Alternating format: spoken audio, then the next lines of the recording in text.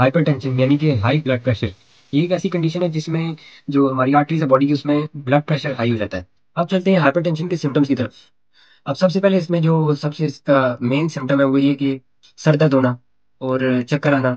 इसके अलावा आँखों के आगे अंधेरा आ जाना तो ये इसके मेन सिम्टम्स है हाइपरटेंशन के। और अब बात करते हैं इसकी कॉजेज की।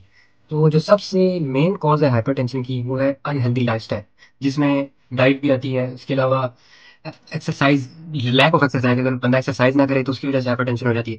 इसके अलावा स्मोकिंग भी इसकी एक बहुत बड़ी रीज़न है हाइपरटेंशन की। और इसके अलावा जो फैक्टर्स हैं, वो जेनेटिक फैक्टर्स इसमें आते हैं। ठीक है फैमिली बैकग्राउंड तो उस पर भी, वो भी, उस पर डिपेंड करती है। इसके अलावा स्ट्रेस अगर बंदा ज़्यादा स्ट्रेस लेता है तो उसकी वजह से भी हाइपरटेंशन हो जाती है।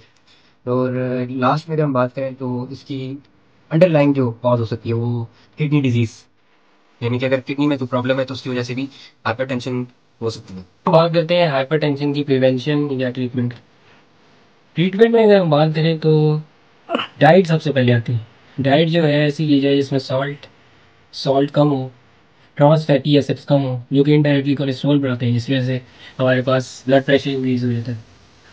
या फिर हम एक्सरसाइज ज़्यादा करें। एक्सरसाइज अगर हेल्दी हेल्दी डाइट रखेंगे, साथ एक्सरसाइज करेंगे, उससे ब्लड प्रेशर जो है कंट्रोल रहेगा। उसके बाद बात करें हम स्मोकिंग को रिड्यूस कर सकते हैं। ये हमारे पास में कि स्मोकिंग को रिड्यूस करें, उसकी वजह से भी ब्लड प्रेशर रिड्यूस होगा।